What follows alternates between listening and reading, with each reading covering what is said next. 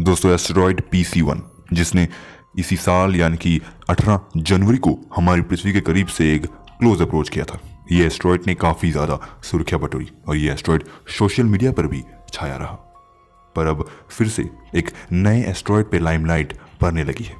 खबरें ये कहती है कि ये एस्ट्रॉयड इसी महीने, यानी कि इलेवेंथ ऑफ़ फेबररी को हमारी पृथ्वी के करीब से गुजरने वाला है। इस एस्ट्रॉयड का नाम है 2001 CB21 ये एस्ट्रॉयड एक अपोलो क्लास एस्ट्रॉयड है और इसके डायामीटर लगभग 0.5 से लेकर 1.2 किलोमीटर तक हो सकती है। इसके साइज़ का अंदाज़ा आप कुछ इस प्रकार लगा सकती हो कि ये एस्ट्रॉयड लगभग गोल्डन गेट ब्रिज के समान है। इस एस्ट्रॉयड की ऑर्बिटल स्पीड लगभग 29.29 किलोमीटर पर सेकेंड है। इसका आकार और इसकी तेज़ी इसे ज़रूर से एक खतरनाक एस्ट्रॉयड बनाती है। पर अभी नज़र डालते हैं कुछ वायरल खबरों पर। बहुत सारे न्यूज़ चैनल इस एस्ट्रॉयड के ऊपर पहले से ही खबर डाल चुके हैं।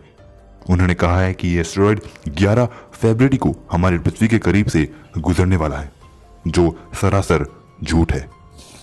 दोस्तों, एस्ट्रॉयड 2001 CB1 11 फरवरी को हमारी पृथ्वी के साथ कोई भी क्लोज अप्रोच करने ही नहीं वाला है।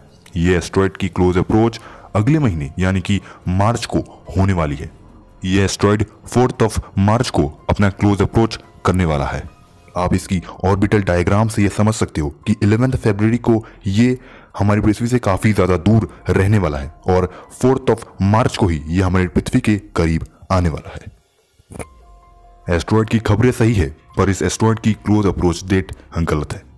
फोर्थ ऑफ़ मार्च को ये एस्ट्रॉयड हमारी पृथ्वी से लगभग 4.9 मिलियन किलोमीटर्स की दूरी से गुजर जाएगा, जो एक काफ़ी सेफ़ डिस्टेंस है। इस एस्ट्रॉयड की ऑर्बिटल पीरियड लगभग 384 डेज़ की है और इस एस्ट्रॉयड की नेक्स्ट क्लोज अप्रोच साल 2026 में होने वाली है। तब भी इस एस्ट्रॉयड की दूरी हमारी पृथ्वी से बहुत ज़्यादा होने वाली है। एस्ट्रॉयड सी बी की ऑर्बिट को सेकेंड फेब्रवरी 2001 को डिटरमाइन किया गया था पर इस एस्ट्रॉयड को सबसे पहली बार ऑब्ज़र्व 13 दिसंबर 2021 को ही किया गया था।